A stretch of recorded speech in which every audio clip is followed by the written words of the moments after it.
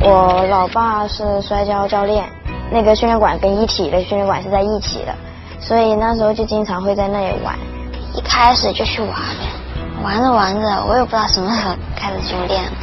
一般爸妈现在都不过来看我，他们也怕影响我，平常受伤也不太想告诉他们，不想让他们担心。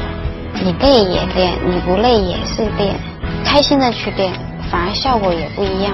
面对困难痛苦，我选择去享受过程，因为我一直都很想拿全能，毕竟全能中国历史上还没有人拿。伦敦奥运会的时候。本来是上四项的，后来因为伤病，然后就把压力给了别人，就自己觉得很对不起大家的感觉。因为体操才可以跟好朋友他们一起相遇，一起训练啊，一起出成绩这种。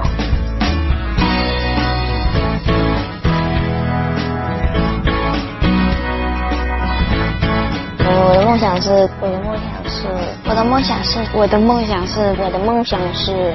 跟铁道方的世界冠军吧，上冠军场，世界冠军跟奥运冠军，拿到奥运冠军、奥运会冠军，追求自己喜欢的东西，一点一点去实现它。